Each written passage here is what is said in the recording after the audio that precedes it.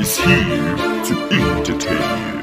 Senzo Meyiwa's trial case is taking a U-turn already, in fact soon forming an O completely all boundaries, all doors are being closed completely, and it seems like we were close to actually discovering the entire truth, but now we are further even from the truth as Advocate Teffo has decided to quit his job as the main person who is behind this particular case to track all those who are responsible in Senzo Meyiwa's early departure from this world.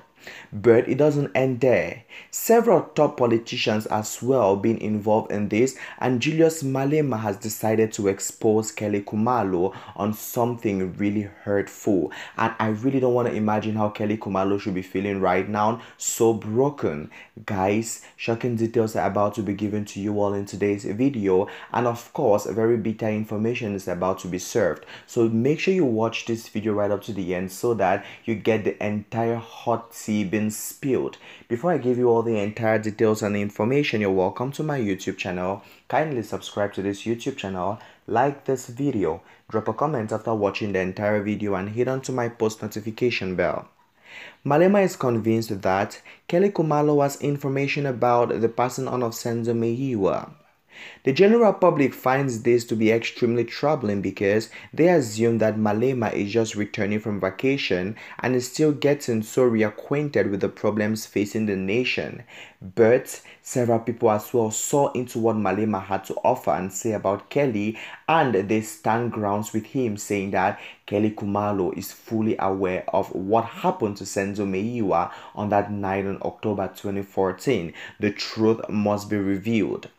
The leader of the Economic Freedom Fighters, Julius Malema, claims to be convinced that singer Kelly Khumalo knows something about the passing of soccer player Senzo Meyiwa. However, he is merely stating the obvious because everybody is already aware of that, but without any certainty, without any conviction, and without any certain proof, Kelly Khumalo has to stay very clean and not guilty until proven guilty. However, he is merely stating the obvious, like I earlier said, which is that the family may definitely be aware of much more information than they are letting on the general public.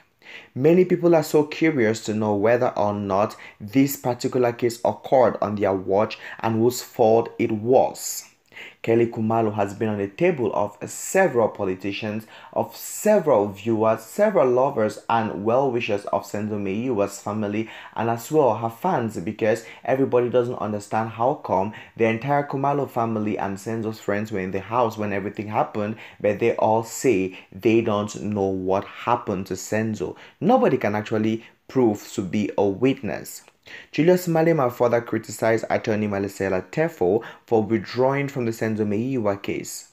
I'm sure the advocate will take what he said very painfully, since he clearly has a lot of admiration for Julius Malema, who is openly criticizing everyone in his path already.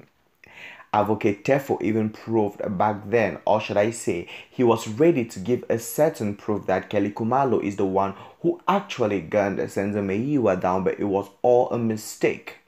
And now he is quitting without giving the entire proof.